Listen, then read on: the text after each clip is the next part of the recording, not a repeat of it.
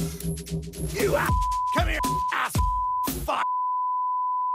Buongiorno ragazzi, oggi per voi la cui fascia d'età va da 60 a De Gasperi spieghiamo un concetto fondamentale, le conseguenze dell'uscita dall'Europa. Se siamo qui è perché molti di voi che hanno tutta la vita davanti pensano che uscire dall'Europa sia come andare a comprare le sigarette in Brasile senza tornare mai più, con la differenza che l'Unione Europea è un'organizzazione internazionale politica, economica a carattere sovranazionale e non vostra moglie. Capito Enzo?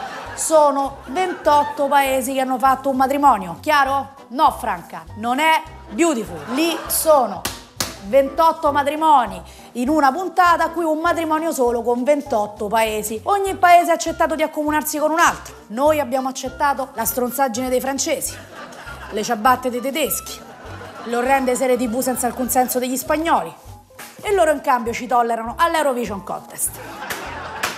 Un matrimonio di 28 paesi senza le gioie della prima notte di nozze in treno merci a Venezia, ma con le roboanti rotture di coglioni in caso di divorzio. Analizziamole queste rotture di coglioni. Inflazione non è una malattia venerea, ok? Non c'entra niente con la prostata, semmai c'entra con la visita prostatica, perché gli effetti sugli italiani sono gli stessi, ovvero un bel dito nel culo. Uscire dall'Europa e tornare alla lira significa che la nostra capacità di acquisto è infinitamente più bassa. Sarebbe come rinunciare a Emily Ratajkowski per girare Brigida, ma come adesso. E chi è Emma Maradocci? Una che te la ricordi pure con l'Alzheimer. Poi, restituzione dei debiti. Nel caso dell'Italia sono 400 miliardi di euro nei confronti dell'Europa. 400 a voglia girare la ruota, Enzo. Occhio e croce, l'Europa mi sembra tollerante come il clan dei casalesi. Voi state morendo, ma se permettete io ad annegare in un pilone di cemento, non mi ci vedo perché si sa, il cemento ingrassa. Pensioni.